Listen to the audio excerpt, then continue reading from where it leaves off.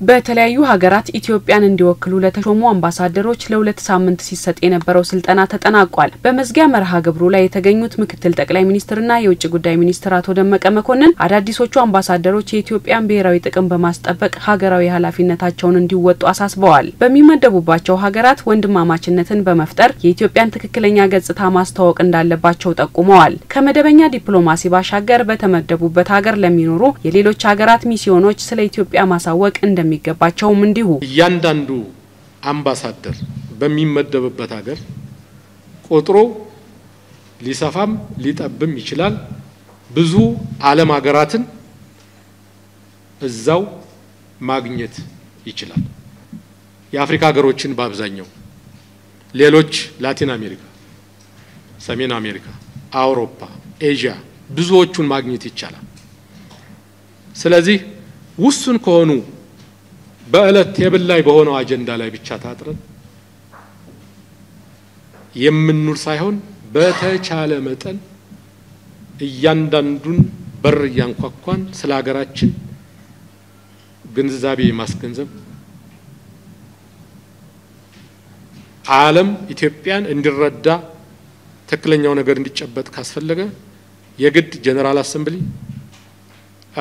አፍሪካ ህብረት ሌላ የስብስብ ማዕከል መጠበቅ አይጠይቅም። የዓለምን ነባራዊ ሁኔታ ያገናዘበ በቴክኖሎጂ የተደገፈና ሀገርን የሚያኮራ ስራ እንዲያከናውኑም ጠይቀዋል። አዳዲሶቹ አምባሳደሮች በአጠቃላይ ዓለም ስለ ኢትዮጵያ እንዲረዳ በተመደቡበት ሀገር ዘርፈ ብዙ የዲፕሎማሲ ስራ መስራት እንዳለባቸው ነው ያስገነዘቡት። ከሆነ ቦታ ላይ መልእክት ሲመጣ፣ ትዕዛዝ ሲመጣ፣ ጥሪ ሲመጣ የሚሄድ መሆን የለበትም።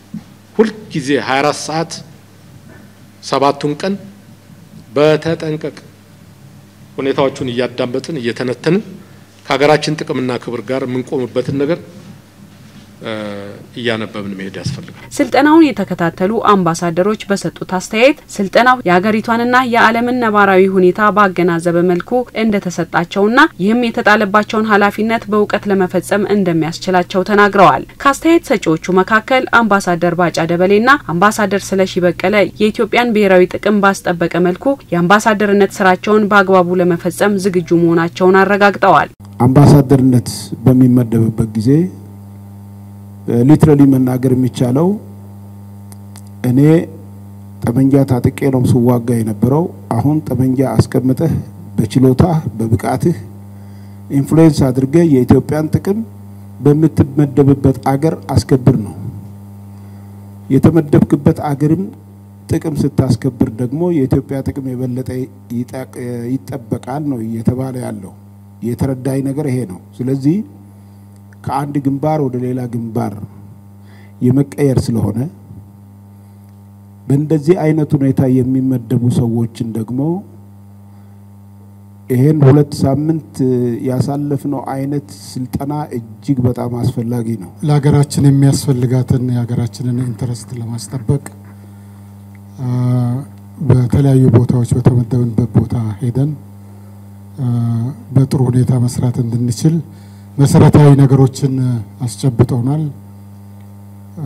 የተሰጡን ዶክመንቶች በሀገራችን ውስጥ ያለውን ሁኔታ በደንብ benchmark ለማድረግ focus ማድረግ እንድንችል፣ በስራችን ውስጥ ደግሞ እንዴት አድርገን የተለያዩ ጉዳዮችን frame ማድረግ እንድንችል